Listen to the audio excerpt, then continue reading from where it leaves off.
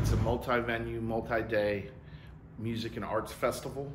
Um, I think there's about 80 acts, a little bit more than 80 acts. That includes like solo acts, duos, full bands. Um, I think we have six six venues this year. Some of them from Japan, from uh, Catskills, New York, uh, Harrisonburg, Virginia, and locals. Uh, and then down the street, the Big State Theater is hosting a full local lineup. So there are going to be some options if people want to be on the big stage or see the big stage. They can go down the street. If they want to come in here and get intimate in an in-store at Alley Cat Records, we're doing that. A little bit later at Holistic Company down the street, another great local business. They're going to be hosting some stuff. And we, we continue tomorrow, Saturday, where we have Nash in the alleyway of Nash. We're going to do some outside stuff. Um, Sunday is our finale day.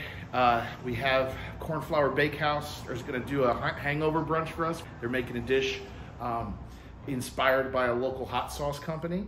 Uh, so they collaborated on that. So we're getting everyone involved who can be, and there's going to be live music on the patio during the day out there. Uh, here we're going to have some very experimental stuff. I call it kind of Beaster Sunday because it's going to be Easter. Um, and we're going to be, it, that'll be here. And I think specifically this festival, I'm told from all the people who work it, they say, oh man, it's hard work, it's Spaz Fest. But man, do we make money. So I tell people like, while it's happening for me, it's a blur, but it's awesome. You'll usually see me with a smile. I might be a little sweaty, but I'm smiling.